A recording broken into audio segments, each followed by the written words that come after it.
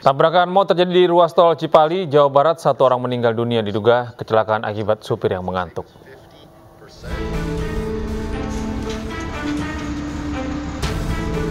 Minibus ini rusak parah akibat menabrak truk saat melaju di ruas tol Cipali wilayah Subang dari arah Jakarta menuju Palimanan.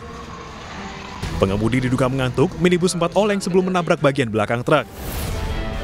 Akibat kecelakaan ini, satu orang penumpang minibus meninggal dunia. Sementara pengemudi minibus dan satu penumpang anak-anak mengalami luka-luka. Kata petugas eh, tol Cipali itu dari Jasa Marga, eh, kendaraan minibus eh, ditabrak di belakang katanya. nabrak belakang berarti Ya, nabrak belakang gitu. penumpang Terus berapa orang itu pak yang, informnya eh, yang meninggal satu orang, yang luka-luka dua orang juga. Seluruh korban dibawa ke Rumah Sakit Abdul Rajak Purwakarta, Jawa Barat. Sementara kendaraan yang terlibat kecelakaan diamankan ke unit laka lantas tol Cipali.